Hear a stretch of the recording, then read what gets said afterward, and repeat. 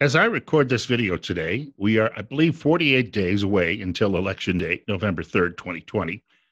And I am increasingly alarmed that no one is calling foul on the nominee of the Democrat Party for president. Now, I shared on my own personal radio program yesterday at News Radio 1310 KLIX, right here in beautiful downtown Idaho. I shared some comments from Kamala Harris where she said, in the Harris administration, which obviously is a Freudian slip, but it shows you exactly what's going on really behind the scenes in the Democrat Party, Joe Biden would be nothing more than a figurehead. How mainstream media is allowing this man to continue when he's obviously in the throes of dementia or Alzheimer's is beyond me. They, they, their Trump hatred is so great, they could ignore things like this. This came out of Mr. Biden's mouth during a campaign appearance in Tampa, Florida. Because if you could take care, if you were a quartermaster, you can sure and hell take care of running a, you know, department store uh, thing, you know, where in the second floor of the ladies department or whatever, you know what I mean? Um, what the heck does that mean? Joe Biden is a dummy. Something's not right there, folks. And it hasn't been right for a number of years. And by the way, you know, I sit on the stand and it get hot. I got a lot of, I got hairy legs that turn that that that that that that turn uh, um, blonde in the sun.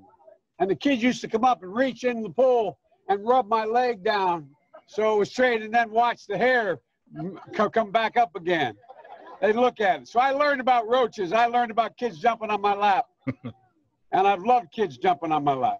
Joe Biden is a dummy. I don't know that I'd want any of my children jumping on his lap. Uh, clearly, though, he probably wouldn't even know that he wasn't anything different than a trampoline at this stage of his life.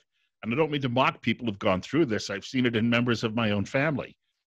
But they weren't running for president of the United States. This is the guy who will have the nuclear trigger at his uh, his fingertips, which he's usually got all over the necks and shoulders of young women. We we have a serious crisis in this country, and it's not Donald Trump.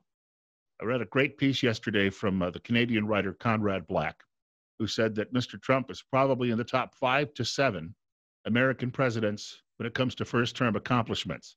And then he actually cited them, he, he rattled them off.